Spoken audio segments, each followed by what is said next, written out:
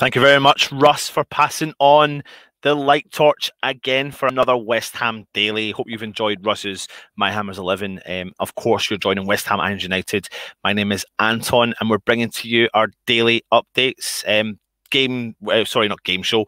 Uh, episode three, yeah, it's um, a whole new game for us and fitting it in within our lifestyle. And I hope you're really enjoying what we've brought to you. We've brought you to you some Lingard news, contracts, um, discussions between apparently Manchester United, which was the other day, um, Stell brought that to you on Monday. I brought to you the news on a Danish player called Lindstrom, potentially incoming to West Ham, playing at Brøndby, um, and looking really like a good talent. And then I also spoke to you about the Lanzini potentially going out. But today's video, as you can see in the thumbnail, as you can see in the um, description, the title, etc., is about two of our youth prospect players, Alese and Baptiste. So we're going to go through some of their, you know, the reasoning why I say what I've said in the title. So let's go for it and get into our daily. Please keep your comments coming in. We'll engage. Actually, let me jump into the comments just now and see who is here.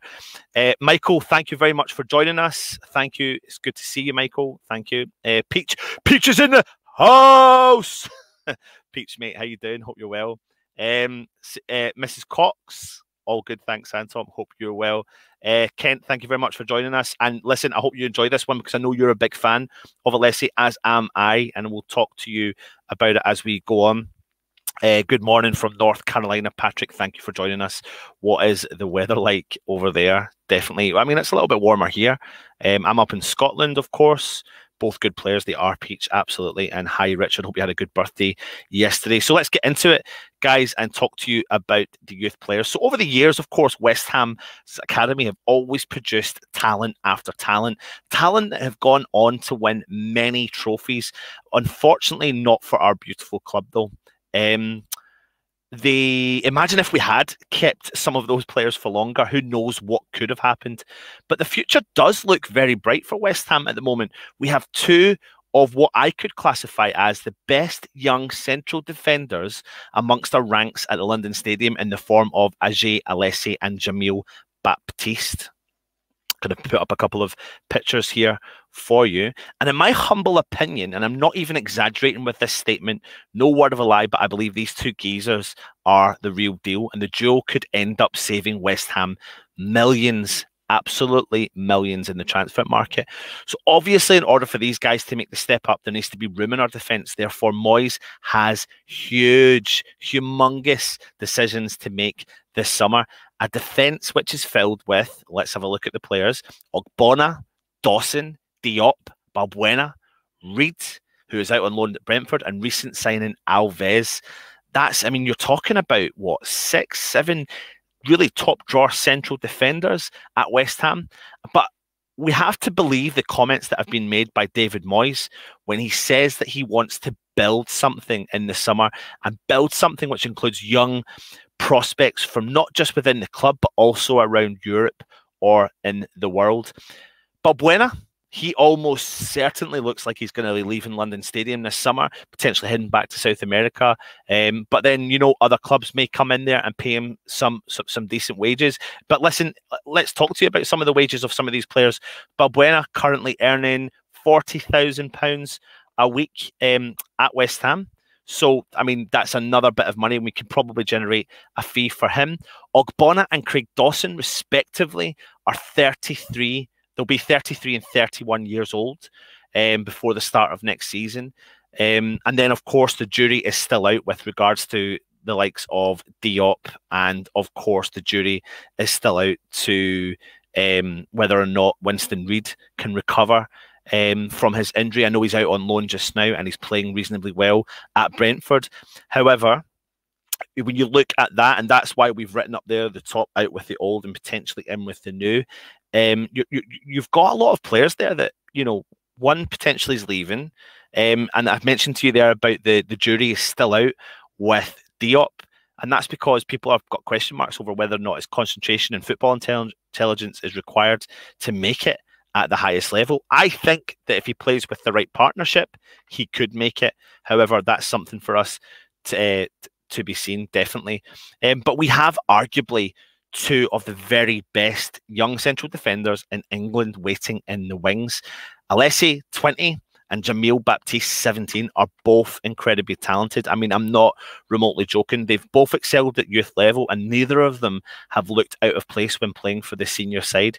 Alese, currently on loan at Cambridge United, has previously had spells at Accrington Stanley, and he's really shined as a player. And he also played in that friendly um, against Ipswich Town, which I particularly watched. I've seen a lot of Alese. Listen, I'm not even remotely joking you. This guy can collect the ball from the central defence. He can visualise the game. He's got good um, football awareness. He's got a good football brain, and he can read the game really well. He's extremely clever. He's extremely dominating. He played alongside Balbuena in that game. He absolutely dominated our whole defence. He dominated the, the, the, the left back the central defender, and even the right back and what was in front of him. He collected the ball and he was pinging balls all over the park, and he literally pinpoint perfect every pass.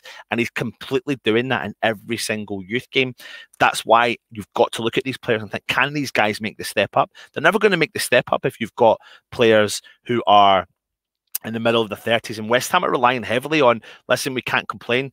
Diop, uh, Ogbonna's had a fantastic season. Dawson's having a fantastic season. Diop stepped up recently.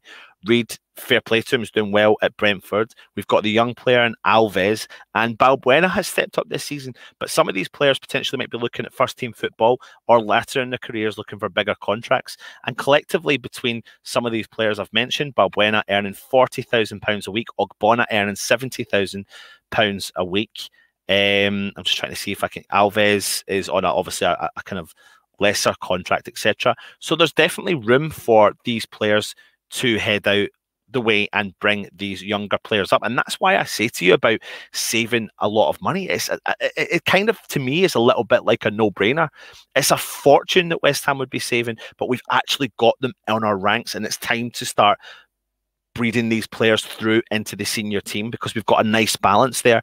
You know, if you're looking at Dawson and potentially um, Ogbonna staying to take on those senior roles and develop these. Maybe it's time that we start to see these two young players feature next season. And we've got to believe that he's David Moyes is going to continue to do this Red Bull mold. Then that is exactly what he's going to have to do is bring these younger players in. But again, I've watched Baptiste, I've watched Alese. I'm a, a previous central defender. You, you, you know, you, you can either see if someone's got it or not. And what I will say is when you talk about Diop, and people can kind of slate Diop. Get your comments in and let us know your thoughts on on our central defenders and the young players. But when you look at Diop, I find that Diop struggles when he plays alongside someone similar to him. As I think does Diop when he plays alongside uh, uh, Ogbonna when he plays alongside Diop. But when you put one of them either with Dawson or Balbuena, they start to play um, to their full strengths. But these two lads, Alese and um, and Baptiste can definitely raise their game. Let's go and have a look and see what everyone is saying. Hi, everyone. Hi, Lee. Thank you very much for joining us on our daily. What do you think on what I've said, Lee? Do you do you agree with the the comments on Alese and Baptiste? Do you think we do you think we'll see them feature next season? I think it'll be interesting to see if they actually uh, would Patrick. It's 18 degrees and rainy. Oh well, I'm having a good day. I'm having nice weather up here, and I can't complain. Toby, thank you very much for joining us, mate. Hope you're keeping well. Um, Aiden Reid.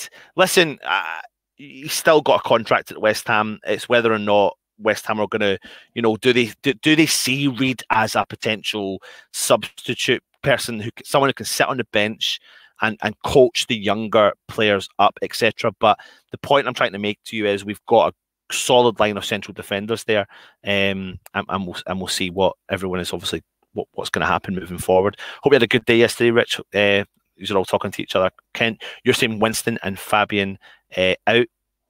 Um, yeah, I can see that. I can see why. I can see why you're saying that. Um, but it'll be intriguing to know what. Uh, what sorry, I'm wearing this hat. It's all a bit wonky, isn't it? Uh, it'll be intriguing to see what Moyes does in particular with um with with them. Uh, hit like button chat. Thank you very much, Lee. Uh, Kent, you're saying Alese is good.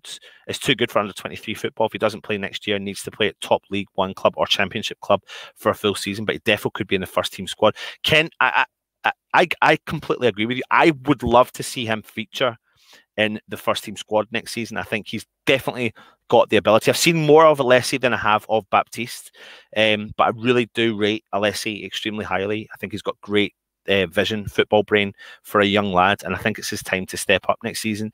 And if he doesn't, he needs to go to a, a higher standard because he's definitely can he can definitely play at the highest standard in my opinion, no problem at all. Um, Let's see what uh, other people are saying. Patrick Walsh, Moyes has been slow in bringing the young players along. Bowen and Benrahma, But then, you know, we have got players in there. Ben Johnson, he's he's, he's really given a, a kind of chance to, and there's more players. There's more players in our younger ranks that we could bring through, etc. So you know, it'll be interesting to see. Um, Diop is not as good as when he has to play left centre back. Um, and Michael Hall is saying, I think Diop is a good but inconsistent. I, I agree. I, I, think he is. I think he's got potential to be good, and and but he is inconsistent. The, the biggest problem I've got with the opposite, if he plays alongside someone who's too similar to him, then it defeats the purpose of what the job they can do in the central of defence. Anyway, keep your comments coming in and let me know your thoughts on Alese and Baptiste. Um, do you like the idea of them stepping up and, and like I said, could save West Ham a bloody fortune? In the new season uh, in the summer coming up. I think that they are ready for the top flight football. Why not use them now and get them ready for next season? And Moyes, we trust Anton. My only issue about using them now is, I mean, I think unless he could step up, I'm not going to lie to you. I think he could step up, but we've got a lot of senior players there, and I don't think that's what Moyes is going to do. And we're obviously challenging for. Um, the European position. So therefore, I think that he'll stick with what he's got. But next year we'll see a big change in our defence, and I think it has to happen. It's it's definitely time. Um, Aiden, I love Reid. It's just it's just it's over. Whether or not he stays around is up to him.